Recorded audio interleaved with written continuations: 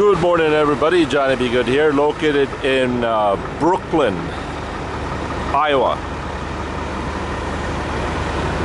Spent the night here last night, just got up. I thought I'd check out this Pine Cone restaurant. Today is uh, Thursday, I believe August 7th, 2014. Uh, I'm not sure what time it is. Let me double check here.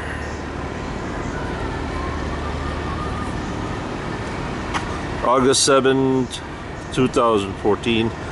Time is 8.57 a.m. Temperature is about 65 degrees.